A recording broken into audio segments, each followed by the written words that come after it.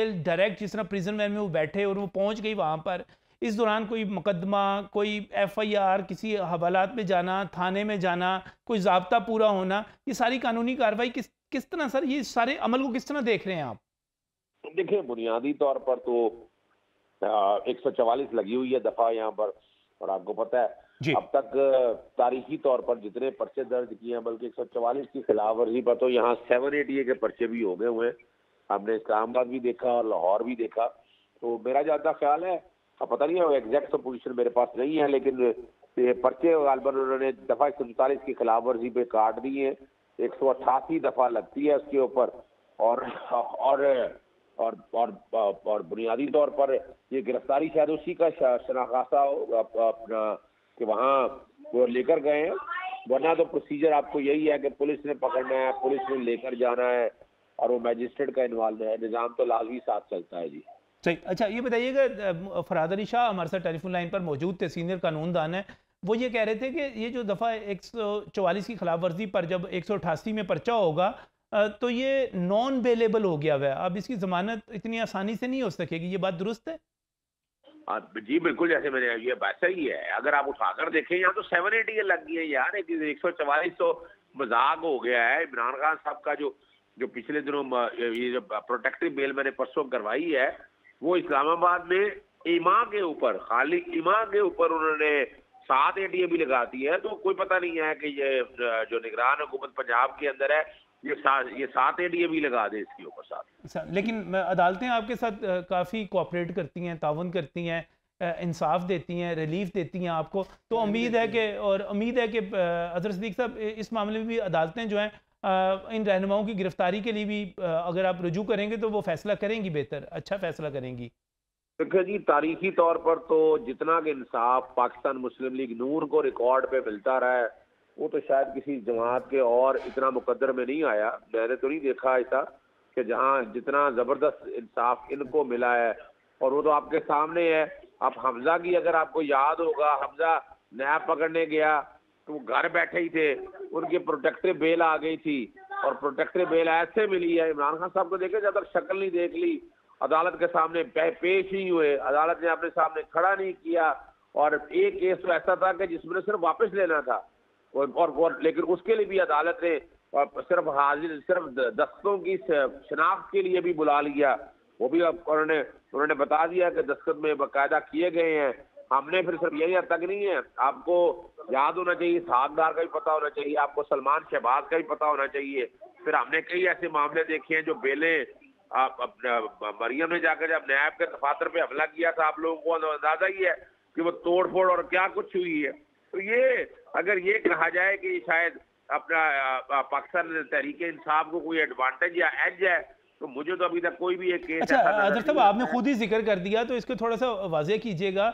कहा यह जा रहा था कि आपने इमरान खान साहब के जाली दस्खत कर दिए दरख्वास्त के ऊपर और फिर आपने उसको तस्लीम भी कर लिया कि ये खान साहब ने नहीं किए हुए जाली दस्खत ये आपने किए हुए हैं। उसके बावजूद अदालत ने आपकी माजरत कबूल करते हुए आपको जो था दरख्वास्त वापस लेने की इजाज़त दे दी। हालाँकि वो बहुत बहुत सारे लोगों की तशरी ये है कि इस पर तो बाकायदा जेल साजी का उसी तरह का मुकदमा होना चाहिए था। सज़ा होनी चाहिए थी, जैसे कोई वसीयत नामे पर गलत दस्खत करता है, हलफनामे पर गलत दस्खत करता है, या किसी बेनाम बयाने पर दस्खत गलत कर देता है, ये तशरी दुरुस्त नहीं थी कि इस पे ये तो जेल साजी थी, ये कहा जा रहा है? मैं अगर इजाज़त दे देंगे जवाब, मैं, पता नहीं आपने आपको किसने ये कह दिया? मेरा ख्याल आप कोर्ट में तो थे नहीं, ये जो बातें आपने सारी कह दी आपको किसने कह दी है कि ये हुआ है? जो कोर्ट में थे ना समझे कोर्ट में क्या मामला है? जी जी बताइए इसीलिए सर मैंने इसीलिए आपसे सवाल किया है इसीलिए आपसे सवाल किया है। आपने तो पकड़ के सारी चार्जशीट इकट्ठी कर दी ना। सर मैंने तो सवाल किया सर। अजहर अजहर सदीक साहब आप एक सीनियर कानूनदान है आप समझते हैं मैंने एक सवाल किया है सर। हाँ तो सवाल का जवाब ले लेना जो कोर्ट के अंदर मौजूद थे इशू बड़ा सिंपल सा है। एक बेल दाखिल हुई। जी। बेल दाखिल हुई वो प्रोटेक्टिव के लिए वो इस्लामाबाद हाई कोर्ट ने सस्पेंड कर दिया वो ऑर्डर। रात को मैं गया इमरान खान साहब से वकालतनामा लिया वकालतनामा दाखिल किया और इमरान खान साहब ने आके उस वकालतनामे को ओन किया और कहा यह बाकायदा अखबारों में भी छपा है जो कोर्ट के कोर्ट रिपोर्टिंग कर रहे थे। और मेरा ख्याल है अब आपका मेरा ख्याल है हयात कवर करता उमर, है उमर हयात साहब भी कवर करते हैं वहाँ पर नईम साहब भी थे हमारे जी हमारी टीम मौजूद थी वहाँ पर। कोर्ट के अंदर ही उनका पता था और उनके सामने इमरान खान साहब ने कहा जी मैंने ही अजहर सिद्दीक को डायरेक्ट इंस्ट्रक्शन दी थी कि ये वापस ले ले और साइन होना और उसके बाद देखिए, मैं सिर्फ़ उसकी हद तक नहीं है। मैंने तो प्रोटेक्टिव बेल पहले जो फ़ाइल की थी, जस्टिस अली बाकर नजफी साहब का कुछ दिन पहले, और वो चूँकि कोर्ट पे टाइमली ना पहुँच सके, अदम पैरवी, वो खारिज हो गई थी। और फिर जो परसों मैंने बेल करवाई है, मैंने उसी दस्तखतों के साथ, कल परसों भी मैंने बेल करवाई है। तो वो दस्तखतों वाला इशू ऐसा नहीं है, वो तो कन्फ्यूज़न जान के क्रिएट किया जाता है, ताकि असल चीज़ से हालात और वाकत उठ जाए, और यानी तवज्जो हट जाए। और ये तो बड़ा सिंपल सा इशू है। अपनी मर्ज़ी का वकील करना अपनी मर्ज़ी की चॉइस का करना। अगर ये काम इस तरह शुरू हो जाए तो फिर वकालत अल्लाह ही आप यानी हमें हमें हमें इन चीज़ों अच्छा अब मुझे बताइएगा अब ये लोग जो पहुँच गए जेल वापस इसी मौजू पे आ जाते हैं।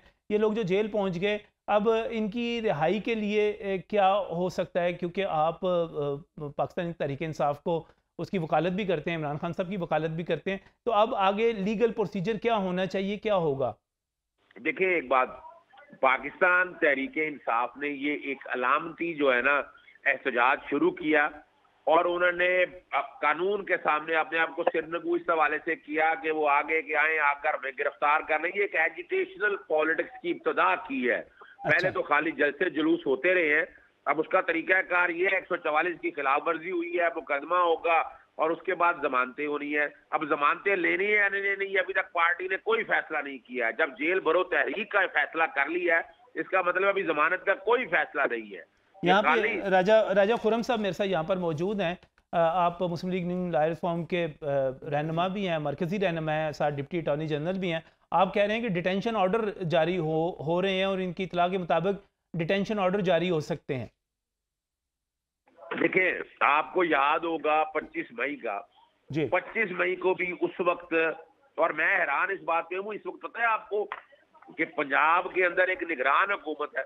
जी जी। पंजाब के अंदर इस वक्त निगरान हुकूमत है। अब निगरान हुकूमत भी अगर सियासत कर रही है वो अपनी जगह है। डिटेंशन ऑर्डर देने का मकसद यानी इस निगरान हुकूमत का क्या ताल्लुक है? निगरान तो निगरान हुकूमत अदर साहब निगरान हुकूमत क्या करे? अगर लीडर खुद आगे प्रिजन वैन के अंदर बैठ जाए उसके ऊपर चढ़ जाए कि हमें गिरफ़्तार कर लो हमें ले चलो तो निगरान हुकूमत क्या करे? उसमें उसका क्या कसूर है? वो घरों से पकड़ के लाइए सर। नहीं नहीं नहीं मैं जो बात कहना चाह रहा हूँ मैं तो बड़ी सिंपल सी बात आपके सामने रख रहा हूँ कि निगरान हुकूमत का ना ये मैंडेट है ना ये करना चाहती है। डिटेंशन ऑर्डर आपको याद है कि 25 मई को जारी हुए थे और वो 2000 के करीब थे। और उस डिटेंशन ऑर्डर के हवाले से कोर्टों में जाना पड़ा। कोर्टों की बातें नहीं मानी।